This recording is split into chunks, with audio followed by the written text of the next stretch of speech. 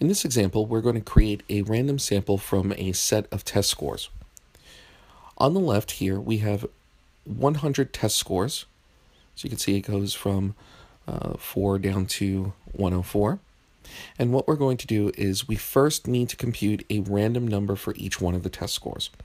So we're going to go into the first cell, and we're going to use the random function.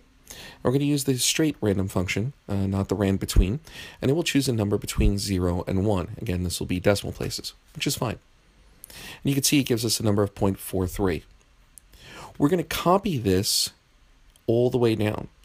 And you'll notice that the random number has changed. Again, that's because the, the random number generator is volatile. So it will change on upon every change in the spreadsheet. But what we're going to do is we're actually going to copy this entire data set and we're actually going to paste special. And what we're going to do is only paste the values of those random numbers. When we do that, it will make a copy of the numbers, but not the function. And you'll see it will have carried the actual function itself. And this is exactly what we were hoping for. Now these numbers will be random, but they will be static. What we'll then do is we'll take the entire data set, and once we've selected our entire data set, we're going to choose data and we're going to sort. And this time we're going to sort by that column, that rand paste column, from smallest to largest, and click OK.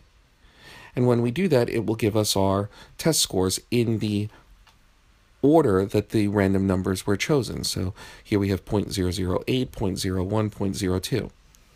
And what we can then do is copy our first 10 and we can paste them over to the right. And you'll notice that we can again do paste values, and here's our sample of 10.